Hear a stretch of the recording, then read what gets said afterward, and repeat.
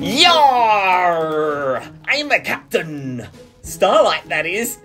and I'm here to show you how to make these cool balloon swords. But first, don't forget to like and subscribe to our Fun with Captain Starlight YouTube channel for more fun content like this. Let's go! To make a balloon sword, you're gonna need two things. You're gonna need a balloon.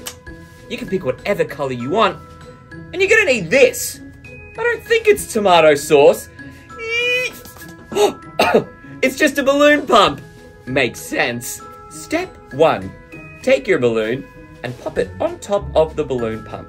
You might need to stretch the nozzle part to get on there nice and ready.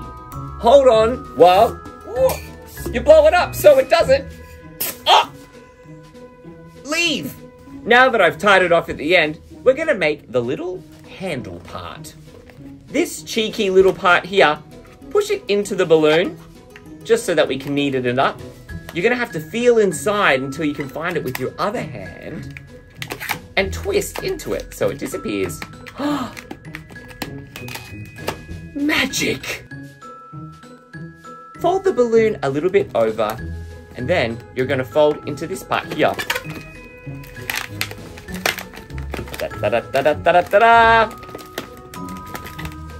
so that we have the beginnings of our handle to make the super cool swashbuckle handle, you're gonna go along the balloon like so and twist little bulbs into it.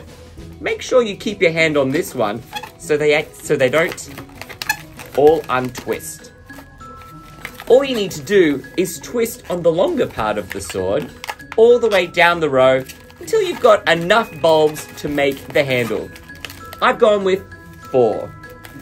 Take the sharp pointy part, wrap it around the handle, and simply poke it on through. And then, yar! Now I've got me old swashbuckling sword. See you on the high seas, everybody, and don't forget to like and subscribe. Arr!